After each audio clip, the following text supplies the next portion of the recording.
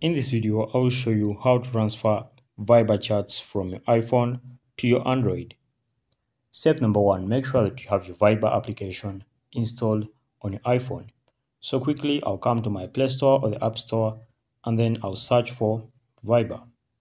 Once I search for Viber, I'll tap over there and then I'll go ahead and install this icon over here or this application with the purple like icon.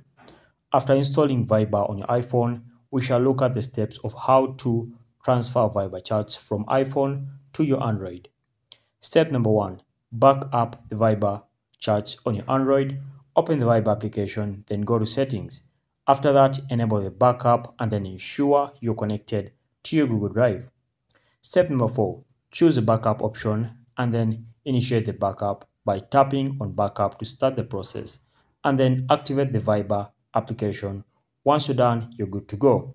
That's it guys. Make sure to like and subscribe to our YouTube channel. We shall meet once again.